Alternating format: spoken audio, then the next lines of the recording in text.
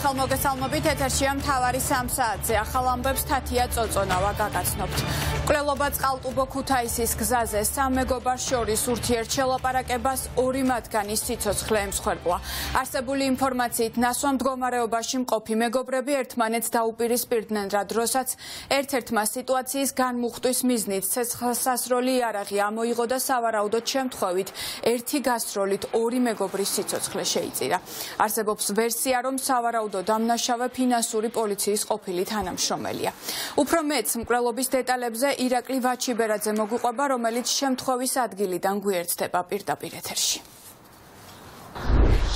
შემზარავი დანაშაული ქუთაისის წყალტუბოს გზაზე მოხდა. მეგობრები რესტორანში ქეიფობდნენ, იქედან გამოსვლის შემდეგ კი მათ შორის სიტყვიერი კამათი დაიწყო. ამის შემდეგ არსებული ინფორმაციით ერთ-ერთმა პირმა რეგისტრირებული იარაღი ამოიღო და ვითარების განმუხტვის მიზნით გაისროლა, რაც ორი ადამიანის გარდაცვალებით დასრულდა. მეგობრებს შორის სისხლიანი დაპირისპირება რესტორნის მიმდებარე ტერიტორიაზე მოხდა. ბრალდებული დაკავებულია. სავარაუდოდ ის ფინანსური პოლიციის ყოფილი თანამშრომელია. მოხდა პრელობა. დიახ. ორი ადამიანი მოხდა. ორი ადამიანი. სად მოხდა? აგე გადაღმა ქუჩაში. დიახ. ჩასაფრება იყო გაუვარდა. არ ვიცი ახლა მაგდენი რამე არ ვიცი. ხან ვერანაირ მენეჯერი სად არის თუ შეიძლება? ამ მომენტში ობიექტს არ იმყოფება და დაახლოებით საღამოს 5 საათისთვის დაბრუნდება და გაგესაუბრებათ ყველაფერზე დეტალურად. დაკითხვაზე არის? ვერ გეტყვით სად არის. როგორც ვიცი ერთმაგიდასთან ისთან დარბაში. დიახ. და ეგ შემთხვევა მოხდა დაახლოებით ღამე, ასე 2-3 საათისკენ. ჩვენ უკვე წასულები ვიყავით პერსონალი, მაგრამ როგორც გავიგე ერთმაგიდასთან ისხდნენ და რო გავიდნენ უბედური შემთხვევით გაუარდა იარაღი და ისე გარდაიცვალნენ. და კამათი არ ყოფილაო როგორც ვიცი მეგობრები იყვნენო და გავიდნენ გარეთ და ასეთი უბედური შემთხვევა მოხდა. მანქანაში დაიღუპა. მე მგონი გარეთ უკვე გასვლის დროს აქვე ახლოს მოხდა ეს გამონაკვეთზე მომხდარზე შინაგან საქმეთა სამინისტრომ გამოძიება 119 მუხლი დაიწყო, რაც განზრახ მკვლელობას გულისხმობს. მადლობა ირაკლი ვაჩიბერაძე საუბრობდა წყალტუბოდან პირდაპირ ეთერში. გადამწყვეტი თვეები ევროინტეგრაციის გზაზე ქართველი ხალხის ურყევმა არჩევანმა და ახალგაზრდების დაუღალავმა პროტესტმა ევროპულ სტრუქტურებში სავარაუდოდ პოზიციების შეცვალა. რადიო თავისუფლება ბრიუსელში არაერთ წყაროზე დაყრდნობით წერს, რომ ევროკომისია მზადაა ოქტომბერში საქართველოსთვის კანდიდატის სტატუსის მიცემაზე რეკომენდაცია გასცეს, თუმცა არსებობს არაოფიციალური დათქმებიც. საქართველოს ხელისუფლებამ ამ 6 თვის ამ 6 თვეში ისეთი ნაბიჯი აღარ უნდა გადადგას, რაც ჩვენს ქვეყანას ქვეყანას ისტორიულ შანს კიდევ აწლეულები დაუკარგავს. ნინი ბალანჩივაძე ესაუბრა პოლიტიკოსებსა და ანალიტიკოსებს ახლა ის შემოგვიერთდება პირდაპირ ეთერში. ნინი მნიშვნელოვანია ევროპელი პარტნიორების განწყობები, თუმცა რამდენად არსებობს მოლოდინი, რომ ოცნების ხელისუფლება ამ 6 თვეში რეფორმების გზას გააგრძელებს. დიახ თათია ბრიუსელში რადიო თავისუფლების წყაროების თანახმად ნამდვილად არის პოზიცია შეჯერებული იმასთან დაკავშირებით რომ 2023 წელს ევროკომისიის მხრიდან არის ყოველ შემთხვევაში განწყობა ესეთი რომ საქართველოს მიიღოს კანდიდატის სტატუსი თუმცა აქვე მნიშვნელოვანია ის რომ ამ 6 თვის განმავლობაში ვიდრე საბოლოოდ გამოცხადდება გადაწყვეტილება საქართველოსთან დაკავშირებით ქართულმა ოცნებამ არ გადადგას არც ერთი ნაბიჯი რომელიც ეწინააღმდეგება ჩვენს ევროპულ არჩევანს და ევროინტეგრაციას. რა საკრუულია ამ გავრცელებული ინფორმაციას უკვე მოხვა გამოხმაურება ქართული ოცნების ოპონენტებში ოპოზიციაში. საუბრობენ იმასთან დაკავშირებით რომ არც ერთ ნაბიჯს არ დგამს ქართული ოცნება ევროინტეგრაციის გზაზე არასრულებს 12 რეკომენდაციას და მეტიც. მართველი გუნდი აკეთებს ყველაფერს იმისთვის რომ საბოტაჟი გამოუცხადოს ევროინტეგრაციის პროცესს და დგამს რუსულ ნაბიჯებს. ასევე დღეს ოპოზიციაში იხსენებენ რუსულ კანონ პროექტს რომელიც პირველი მოსმენით დაამტკიცა ქართულმა ოცნებამ და საზოგადოების და ახალგაზრდების ზეწოლის შემდგომ მართლ გუნდს მოუწია რომ ეს კანონ პროექტი უკან გაეწვია. სწორედ აქედან გამომდინარე დღეს ხელისუფლების ოპონენტები საუბრობენ იმაზე, რომ თუ ევროკომისიამ დადებითი გადაწყვეტილება მიიღო და ჩვენმა ქვეყანამ მიიღო კანდიდატის სტატუსი 2023 წლის ოქტომბერში, ეს მხოლოდ და მხოლოდ იქნება ქართველი ხალხის დამსახურება, ვინაიდან ჩვენ ვნახეთ 7 მარტს რუსთაველის გამზირზე ათასობით ადამიანი, რომლის პირდაპირი განაცხადი არის ევროინტეგრაცია და ევროსტრუქტურებში გაერთიანება. ჩვენ ახლა შეგვიძლია მოვისმინოთ ოპოზიციის მხრიდან გაკეთებული კომენტარები სწორედ ამ გავრცელებული ინფორმაციასთან დაკავშირებით.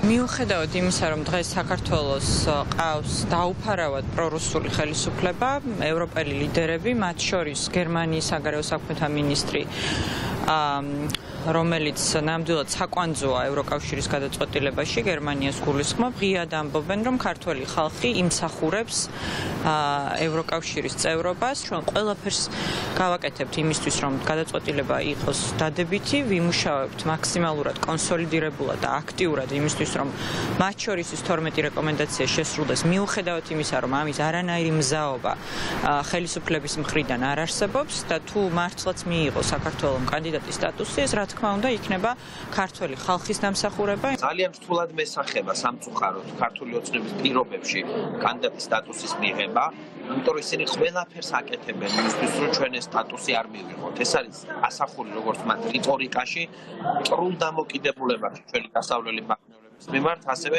მათ ქმედებებში, რომლის უკანასკნელი გამოვლენებაც იყო ჯერ რუსული კანონის მიღება, ის რომ ნიკა გვარამია ციხეშია, ის რომ სამართლებრივი დევნა პოლიტიკურად მოტივირებული მიმდინარეობს როგორც ფორმულას, ასევე ტევე პირველის წინა.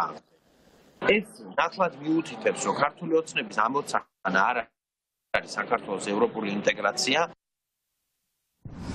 ჩვენ ასევე ვესაუბრეთ არასამთავრობო ორგანიზაციებს, რომლებიც უკვე წლებია მუშაობენ ევროინტეგრაციის მიმართულებით. თითოეული მათგანი თანხდება იმაზე, რომ რამდენიმე კონკრეტული ნაბიჯი არის გადასადგმელი ახლა ქართული ოცნების მხრიდან, ვიდრე საბოლოო პასუხი იქნება ევროკომისიის მხრიდან საქართველოსთან მიმართებით. მათ შორის მართლმა გუნდმა უნდა დააფიქსიროს მკაფიო პოზიცია სადგას რუსეთ-უკრაინის ომში და მხარს უჭერს თუ არა უკრაინას და დასავლეთს. გარდა ამისა, არასამთავრობო ორგანიზაციების პოზიციაც შემდეგნაირია, რომ ძალიან კარგად კარგად იციან ჩვენმა პარტნიორებმა სადგას ახლა რეალურად ქართული ხალხი და სადგას ქართული ოცნება. არასამთავრობო ორგანიზაციები მესამე სექტორის წარმომადგენლები რომლებიც მათ შორის მედიის მიმართულებით მუშაობენ საუბრობენ იმასაც რომ მეშვიდე პუნქტი 12 რეკომენდაციიდან ყველაზე მნიშვნელოვანი პუნქტი არის იმ თვალსაზრისით რომ მასში გაწერილია რომ მედია ქვეყანაში უნდა იყოს თავისუფალი ხოლო იმ ფონზე როცა ნიკა გვარამია საპატიმროში რჩება იმ ფონზე როცა მედიის თავისუფალი მედიის მენეჯერების მიმართ სამართლებრივი დევნა მიმდინარეობს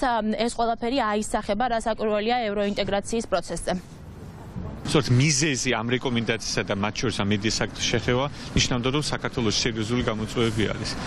ხელისუფლება რას აკეთებს ეს ნუ ნიკა გვარამია კვლავციხეში არის ძალადობის ფაქტები ეფექტურად ძველი არ არის გამოძიებული ახალზე შეიძლება თქვა საქმეები აღიძრება მაგრამ სათანადოდ არ არის ხედავთ უფლებების დარღვევა ჟურნალისტების პლურალისტული გარემო თავისი დეзинფორმაციული კამპანიით რიტორიკით ნამდვილად არ არის. რამოდენიმე საკითხი არის რასაც მნიშვნელობა უნდა მივაქციოთ. ნუ პირველ პირველი ბუნებრივი არის ის რომ რამდენად სრულდება ეს 12 პუნქტი მაგრამ ამას გარდა არის მნიშვნელოვანი დეტალები რომელიცაც მნიშვნელოვანია რა როგორი ხდება ჩვენი პოზიციონირება პირველი ესეთი ახლა უკრაინასთან დაკავშირებით სად და ვის გვერდით დგას საქართველო? საქართველო უნდა იყოს ერთგული ევროპული ინტეგრირების მიმართ. ეს საკითხები როგორც არის მაგალითად იგივე ნიკარაგუას პარტნიორობა, რომელიც აბსოლუტურად აბსურდული ბრალდებით ზის სამწუხარო ციხეში, უნებრივია რომ ეს არის ის რაც განსაკუთრებით დამოკლეს מחვილივით იქნება ჩამოკიდებული საქართველოსთან დაკავშირებით.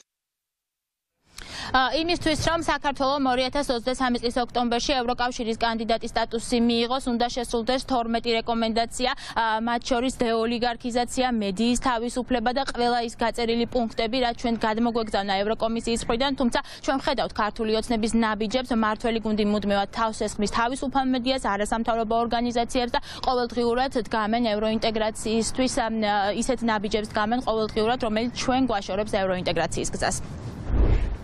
მადლობა ევროკომისიის შესაძლო გადაწყვეტილებაზე ნინი ბალანჩივაძე საუბრობდა პირდაპირ ეთერში. ერთად ევროპაში ამ წუთებში ბათუმის თავისუფლების კვარტალში ერთიანი ნაციონალური მოძრაობის აქცია მიმდინარეობს. აჭარის მთავრობის სახლის წინ თავარი ოპოზიციური პარტიის ლიდერები მხარდამჭერებს მიმართავენ და 9 აპრილს დედაქალაქის ცენტრალურ გამზირზე ევროინტეგრაციის მხარდამჭერ აქციაზე ჩამოსვლისკენ მოუწოდებენ. ჩვენი ჟურნალისტი თია ვაშალომიძე შემოგვიერთდება ახლა პირდაპირ ეთერში. თია, რა გზავნილი აქვთ ლიდერებს და როგორია მზადება მასშტაბური პროტესტისთვის? დიახთათია ერთად ევროპაში. ამ წუთებშიც მიმდინარეობს ნაციონალური მოძრაობის აქცია ბათუმში თავისუფლების კვარტალში. 40 წუთია რაც აქცია დაიწყო. აქ უკვე იმყოფებოდნენ ნაციონალური მოძრაობის პარტიის ლიდერები. ლევან ხაბეიშვილმა უკვე მიმართა სიტყვით საზოგადოებას. გამოსვლელების თქმით ძალა ხალხშია. ხალხს უნდა ქართულ ხალხს უნდა ევროპა და ევროპული არჩევანი ქართული ოცნება კი რუსეთს ემსახურება და ამას არ დაუშვებენ. გამოსვლელების თქმით აუცილებელი აუცილებელია 9 აპრილს თბილისში რუსთაველის გამზირზე ბევრი ქართველი შეიკრიბონ, რადგან ქართულ ოცნებას გააგონონ ხმა, რომ ჩვენი მომავალი ევროპაშია და ევროპულ სახლშია და ასევე გამოსვლების თქმით აუცილებელია 12 პუნქტის შესრულება და პოლიტპატიმრების მიხეილ სააკაშვილის და ნიკა გვარამიას გათავისუფლება. ჩვენ არ გვინდა რუსული მთავრობა. ქართულმა ხალხმა უთხრა არა რუსულ კანონს. ახლა ჩვენ 9 აპრილს უნდა უთხრათ არა რუსულ მთავრობას. ჩვენ არ შევეგუებით რუსულ ხელისუფლებას საქართველოში. თელი საქართველოს და შევიგნიბოთ. ეს არ უნდა იყოს პარტიული აქცია. არ შეიძლება ვერ იქნება ევროპული მომავალი ერთი პარტიის სურვილი ეს არის ჩვენი ქვეყნის მოსახლეობის უმრავლესობის სურვილი წლის ბოლოს იქნება საბოლოო დასკვნა შევალცვენ ამ ევროპულ ოჯახში. თუ შეუერთდებით სადაც მიგვატრევს ეს რუსული ხელისუფლება რუსულ ჩაობს. ჩვენ 9 აპრილისთვის უნდა მოემზადოთ და ძალიან ბევრი უნდა ვიყოთ 9 აპრილს. რომ უთხრათ რუს ოლიგარქს რომ ჩვენ გვინდა ევროპული მომავალი. ჩვენ ახალგაზრდებმა ყველაზე უფრო მეტად დავამტკიცეთ რომ შეგვიძლია ბრძოლა ჩვენი ქვეყნის ერთიანობისთვის თავისუფლებისთვის და დემოკრატიისთვის. მაშინ როდესაც საქართველო გუშინწინ ზეიმობდა თავისი რეფერენდ ამოუკიდებლობის რეფერენდუმის წლისთავს ახალგაზრდას რომელიც ამ დამოუკიდებლობისთვის იბრძვის განაჩენი გამოუტანეს. ლაზარე გრიგორიაძეზე მაქვს საუბარი. ჩვენ არ დაუშვებთ პოლიტიკურ პატიმრებს. ჩვენ არ დაუშვებთ ახალგაზრდების ძალადობით ციხეში ჩაყრას როგორც გითხარით, ნახევარ საათზე მეტია მიმდინარეობს ნაციონალური მოძრაობის მხარდამჭერების აქცია. ისინი ბათუმში თავისუფლების კვარტალში არიან შეკრებილები. ეს არის ერთგვარი საინფორმაციო კამპანია ნაციონალური მოძრაობის მხარდამჭერები და ლიდერები თბილისში 9 აპრილს ფართო მასშტაბიანი აქციისთვის ემზადებიან. მადლობა თია ვაშალომიძე საუბრობდა ბათუმიდან პირდაპირ ეთერში. ხელისუფლების სადამსჯელო ოპერაცია ახალგაზრდების წინააღმდეგ გამოძიება რუსული კანონის წინააღმდეგ მებრძოლ 21 წლის ლაზარეს აბსურდულ ბრალდებას ედავება. უფლებადამცველს პირველი ინსტანციის განაჩენი უკვე გადაეცა და ხვალ 11-ზე სააპელაციო სასამართლოში გაასაჩივრებს. ადვოკატის ინფორმაციით სახელმწიფო ბრალდების მთავარი საყრდენი ამ საქმეში მხოლოდ პოლიციელები არიან და სხვა არც ერთი პირდაპირ მტკიცებულება ლაზარეს წინააღმდეგ არ არსებობს. უფრო კონკრეტულად რას ამბობს თავისუფლებისთვის მებრძოლი ლაზარეს ადვოკატი ნათია ქოქოსაძე განაგრძობს ამ თემაზე საუბარს. თათია ლაზარე გრიგორიადისის ადვოკატი პირველი ინსტანციის მიერ გამოტანილ გადაწყვეტილებას ხვალ უკვე სააპელაციო სასამართლოში გაასაჩივრებს, თუმცა პრაქტიკიდან გამომდინარე მას მოლოდინი არ აქვს, რომ სააპელაციო სასამართლო საქმეს წარმოებაში მიიღებს და თვლის, რომ სავარაუდოდ პირველი ინსტანციის გადაწყვეტილება ამ შემთხვევაში რაც გამოტანილი არის დარჩება ძალაში. ასეთ შემთხვევაში კი ლაზარე გრიგორიადისის დაცვის მხარე უკვე დაელოდება საქმის არსებით განხილვას, რომლის ფარგლებშიც გამოიკითხებიან მოწმეები დაცვის მხარისა და ბრალდების მხარის მხრიდან და შემდგომ უკვე იქნება სასამართლოს საბოლოო გადაწყვეტილება, რაც შეეხება საქმის დეტალებს, უფლებადამცველის განმარტებით საქმეში ფაქტობრივად არ არსებობს მტკიცებულება, რაც ლაზარე გრიგორიადისის ბრალეულობას ამტკიცებს და ერთადერთი მოწმე, მოწმეები, ასე ვთქვათ, რაც ბრალდების მხარეს ყავს, არიან სწორედ პოლიციელები. არ ვეთანხმები მიღებულ გადაწყვეტილებას. ფიქრობ, რომ ის საფრთხეები ყველაფერი, რაც დაასაბუთა ბრალდების ხარ ემიყო, ხოლმე შაბლონური ხასიათის მატარებელი, რაც სასამართლომ სრულად გაიზიარა, მომდინარე აქედან ვაპირებ სააპელაციო სასამართლოს საგამოძიებო კოლეგიაში გასაჩივრებას. სააპელაციო სასამართლო პრაქტიკიდან გამომდინარე, თუმცა შეიძლება ვწდები, წარმოებაში არ მეიღებს, დასაშვებად არ მეიღებს უბრალოდ. ასეთ შემთხვევაში მხოლოდ და მხოლოდ სამომავლოდ რჩება ის, რომ დაინიშნება არსებითი განხილვები, დაიკითხებიან მოწმეები, როგორც ბრალდების ხარისხიდან ისე დაცვის ხარის მხრიდან და ნუ საბოლოო ჯამში სასამართლო მიიღებს შემაძრამებელ გადაწყვეტილებას. ლაზარე გრიგორიადისის მიმართ გამოტანილმა გადაწყვეტილებამ საზოგადოებაში შეშფოთება გამოიწვია. ოპოზიციური სპექტრისა და მესამე სექტორის წარმომადგენლების გარდა საზოგადოების საკმაოდ დიდი ნაწილი საუბრობს და თანხმდება იმაზე რომ ამ ნაბიჯით ხელისუფლება ცდილობს დააშინოს ყველა ვინც გამოთქვამს პროტესტს და დაუპირისპირდება არსებულ სისტემას. ამ შემთხვევაში კი საზოგადოებისთვის ცნობილი სახეების აზრით ხელისუფლება ყველაზე დიდ საფრთხეს სწორედ ახალგაზრდებში ხედავს ვინაიდან ჩვენ ვიხილეთ და ვნახეთ თუ რა შედეგი გამოიღო მარტის აქციებში ახალგაზრდების აქტიურობა და როგორ მოუწია ხელისუფლებას რუსული კანონის უკან გაწევა. რაც შეეხება ლაზარე გრიგორიადისის მიმართ დაწყებულ კამპანიას, საზოგადოებისთვის ცნობილი სახეები ამბობენ, რომ ხელისუფლება ცდილობს მიზან მიმართულად მოახდინოს ამ ადამიანის დისკრედიტაციას და თვლის, რომ საზოგადოებაში მის მიმართ აგორებული შავი პიარი, ეგრეთ წოდებული, გამოიწევს მათთვის სასურველ და დადებით შედეგს. გარდა ამისა, საზოგადოებაში თვლიან, რომ ხელისუფლებამ ამ შემთხვევაში ეგრეთ წოდებული მსხვერპლი არჩია კონკრეტული ნიშნით. ამ შემთხვევაში ხელისუფლება არ ღვევს არაერთ პრინციპს, პირველ რიგში ის, რომ ფაქტობრივად ლაზარე გრიგორიადის არ დაურღვევია არაფერი, ამბობენ საზოგადოებაში და მეორე ის არის ეთნიკური უმცირესობის წარმომადგენელი. გარდა ამისა, მის მიმართ აგორებული შავი პიარით, როგორც გითხარით, ხელისუფლება მის დისკრედიტაციას ცდილობს, ამბობენ საზოგადოებისთვის ცნობილი სახეები. მათ მოხუტებას. პირდაპირ გაგებით შემნათ თქო საზღვარი არ აქვს იმიტომ რომ ფსკერი არ აქვს უბრალოდ პირდაპირ შემნათ თქო იმიტომ რეალს კიდე უფრო აი დაუნდობლს და საშინელ ბოროტებას ჩაიფიქრებენ და გამოძებდეს აი ძალიან ძალიან აი როგორც ძალიან ეშმაკურად გამოძერეს ის ადამიანი რომელიც აი გარკვეულ საზოგადოებაში მათი აზრით გარკვეულ საზოგადოებაში ქართულ საზოგადოებაში ეგრეთ წოდებული ტრადიციის მოყვარულ საზოგადოებაში გამოიწვევს აღშფოთებას და 11 წელი შეიძლება მიცენ ახალგაზრდა ადამიანს რომელიც განასახიერებს დიაპილაპი შეიძლება თქვა ახალგაზრდა თაობის დამოუკიდებლობისა და თავისუფლების კესტრაფას. ის არის დიდი ქართული უმრავლესობის ქართული ახალგაზრდობის წარმოადგენელი და ჩვენ არ უნდა მივცეთ საჯიჯნად ხელისუფლებას ეს ახალგაზრდა კაცი. ამიტომ თელი ჩვენი ენერგია თელი ახალგაზრდული ენერგია უნდა გამთლიანდეს გაერთიანდეს ამ ერთი კაცის დასაცავად იმიტომ რომ ეს კაცი უკვე წინასწარ არჩეული ცხოვრობლად ისე რომ არ ყოფილა სასამართლო დადგენილება მისი უდანაშაულობის პრეზუმპცია დაარღვია პრემიერ-მინისტრმაც კი რაც პირდაპირ დაასრულა არღვე უმრავლესობის ხელმძღვანელობა რაც პირდაპირ ნიშანი არის და საქართველოს კანონი კანონიერება უზენაესი კანონის უზენაესობა სხვა ეს ყველას ფეხებზე კიდია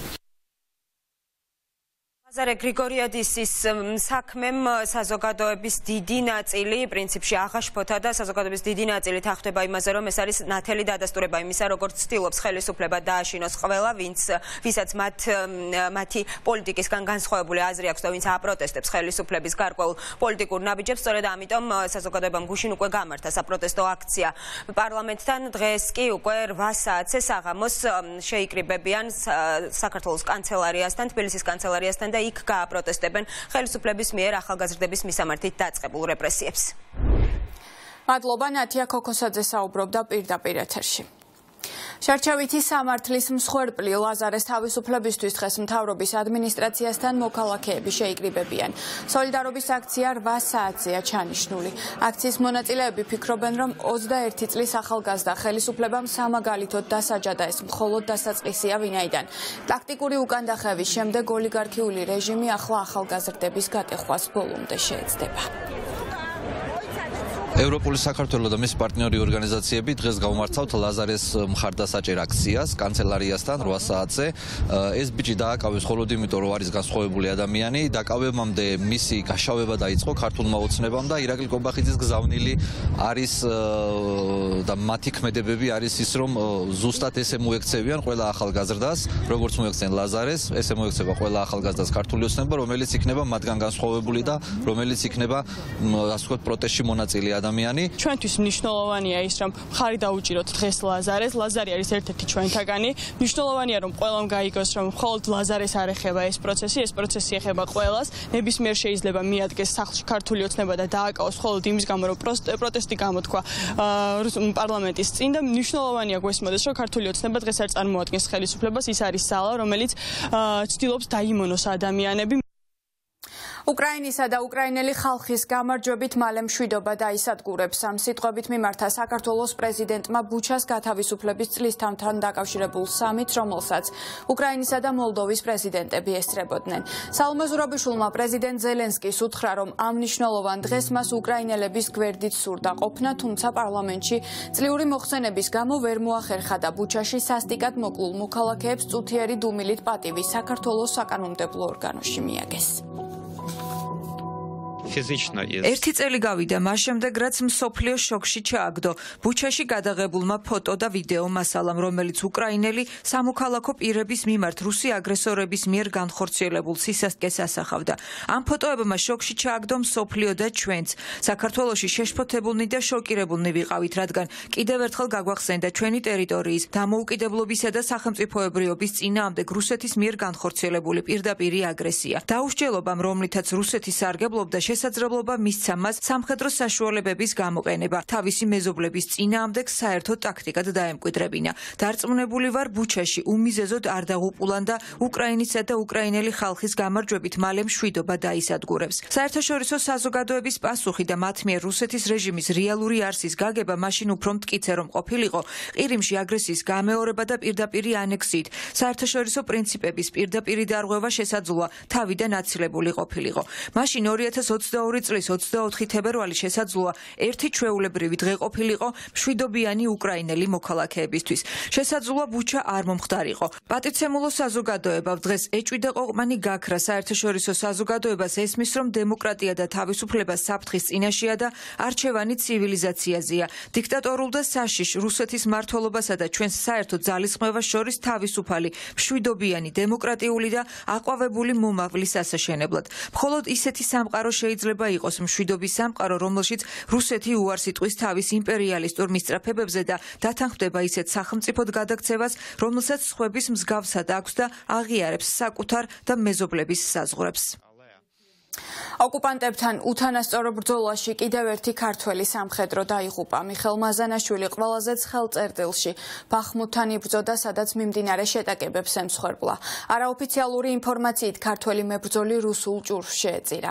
მიხელ მაზანაშვილი გორის მუნიციპალიტეტის სოფელ ზერდიდან არის. მისი თანასოფლელები ყვებიან, რომ დაღუპულ მებრძოლს სამხედრო სამსახურში ყოფნის მრავალწლიანი გამოცდილება ჰქონდა. იბრძოდა ავღანეთსა და სხვა საერთაშორისო მისიებში. მიხელ მაზანაშვილი 39 ქართველი სამხედროა, რომელიც უკრაინაში რუსულ სისასტიკეს ემსხვერპლა. ჩემი ბიძაშვილი არალი ბიძაშვილი ერთად გაზილები ვართ. ერთი წლის უკან წავიდა უკრაინაში იქ ბრძოლობდა, იქ იყო. მეუღლე იქ შეირთო, იქაური ცოლი მოიყვანა და იქ ცხოვრობდა. ხოლმე დაბადების დღე მოგხსოვნებულს მაგას და გუშინ გავაგებინე ჩვენც რომ ესეთი ტრაგედია მოხდა. სად მოხდა თვითონ? რა ვითარებაში და ვარ როგორც ისის ჭრუი დაეცვა. სულ ახლა ხანს გავიგე მეც და ძალიან საშინელ მდგომარეობაში ვარ. ახალგაზრდა ბიჭი გარდაიცვალა. ეს ბიჭი ხო ძალიან პატრიოტი ბიჭი იყო. მე კარგად ახლოს ვიცნობდი. სკოლის დამთავრებიდან სამხედრო სამსახურში იყო უკვე და უკრაინაში ომის დაწყებიდან მალევე წავიდა. ძალიან სამწუხარო ამბავი მოხდა. როგორც ჩვენი სოფლისთვის ასევე საქართველოს დააკლდა უპატრიოტესი და უპატიოსნესი ადამიანი. გავიგეთ დინამიტი დაეცავ და აფეთქდა ზუსტად ვერ კეთებით თავისუფლებელი ინფორმაცია. საუკეთესო სალდათი იყო.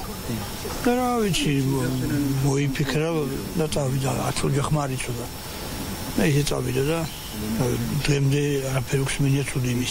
საუკეთესო ბავშვი იყო უბანში, სოფელშიც და სამსახურიც ეგეთი ქონდა რა. ბიჭი მსახურობდა კარგი ბავშვი იყო. ქვეყანაში ინსულინის მარაგი ისევ არ არის. შაქრიანი დიაბეტის მქონე ბავშვების მშობლები ამბობენ, რომ კანონმდებლობის თანახმად ისინი ყოველთვის სამი თვის სამყოფ მარაგს იღებდნენ ბოლო რამდენიმე თვეაკი სახელმწიფო მათი შვილებისთვის ინსულინის საჭირო რაოდენობას აღარ გასცემთ და მიღებული მედიკამენტი მხოლოდ თითო კვირის სამყოფია. მშობლები უკვე თვეებია კითხვებზე პასუხების მიღებას უშედეგო ცდილობენ და ვარაუდობენ, რომ სახელმწიფოს ინსულინის შემოტანაზე ტენდერი ჯერ კიდევ არ გამოუცხადებია.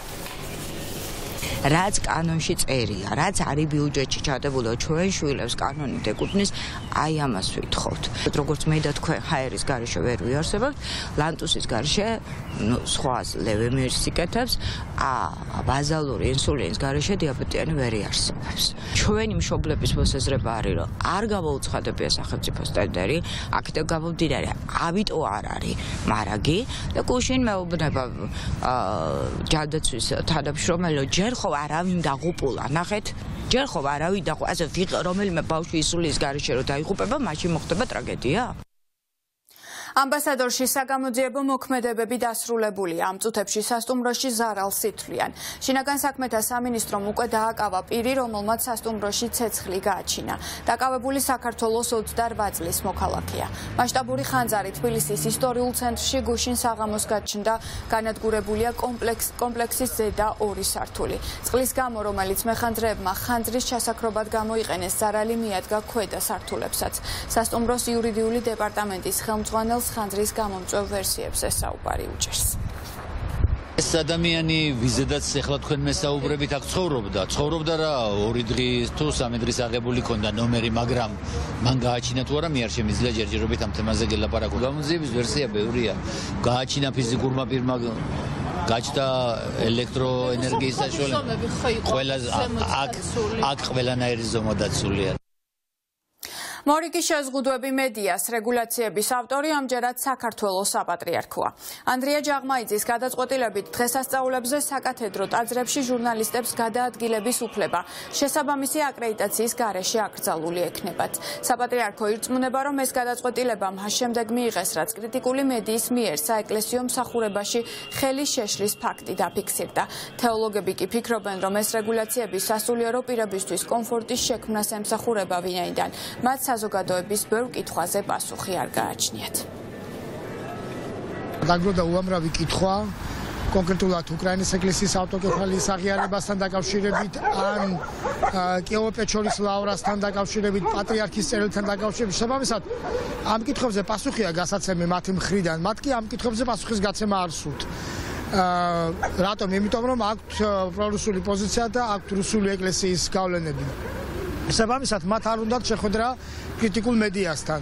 აა ამიტომაც აწესებენ ამგვარ შეზღუდვებს.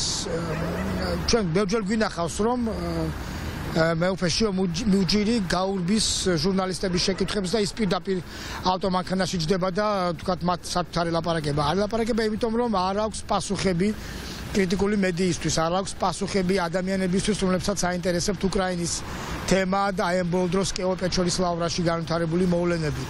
საპატრიარქოს სამარცხინო წერილი.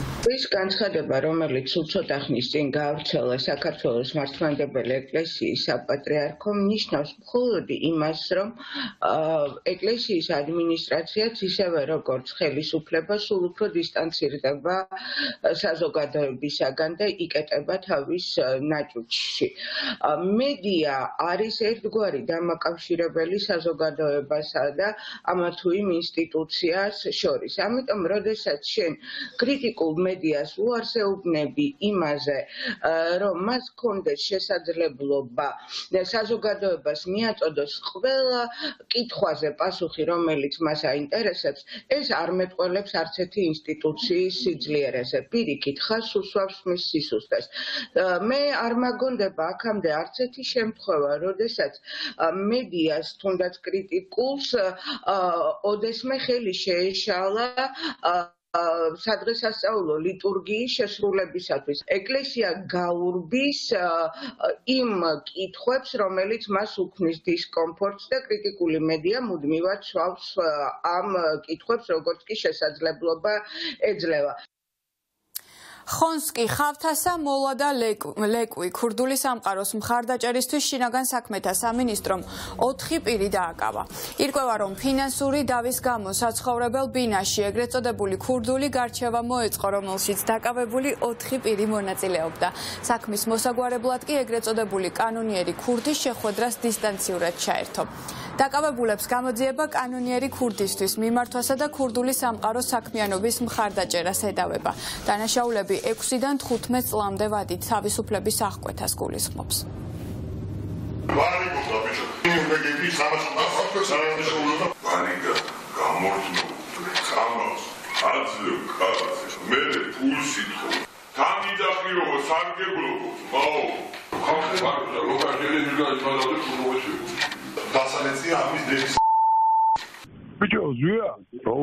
ხონელისკენ მიდივარ ამოდი ერთ წავსხოთ რა ჩემი დედა ტაქსი რა ვარგეთ ჩამოვიყვანო წავსხოთ ჩემი დედა განამი გამოუტანს შენიეს და სამოქმედო ვერ იქნება რა?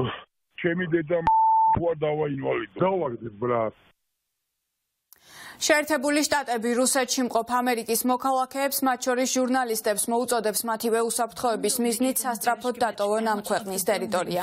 ჯონ კირბის მიერ ამ განცხადების გაკეთების მიზეზი ეკატერინბურგში ამერიკის მოქალაქისა და გაზეთ Wall Street Journal-ის კორესპონდენტის ევან გერშკოვიჩის დაპატიმრება გახდა. რუსეთის ხელისუფლება მას ბრალს ჯაშუშობაში სდებს. შეერთებული შტატების ეროვნული უსაფრთხოების საბჭოს ოფიციალური წარმომადგენელი ამბობს, რომ ამერიკის პრეზიდენტის ადმინისტრაცია ამერიკელს ჟურნალისტთან კომუნიკაციის დასამყარებლად აქტიურად მუშაობს. ახლა არ არის დრო რომ ამერიკელები რუსეთში იყვნენ. თუ კი რუსეთში ხართ არ აქვს მნიშვნელობა საქმეზე დასასვენებლად ნებისმიერი სხვა მიზნით. ახლავე უნდა დატოვოთ რუსეთი. რუსეთი არ არის თქვენთვის საუკეთესო ადგილი. თუნდაც იყოთ მოქმედი ჟურნალისტი. რუსეთი ახლა მტრულად განწყობილი სივრცეა ამერიკის მოქალაქეებისთვის და თუ კი იქ ხართ, დრო დატოვოთ ეს ქვეყანა.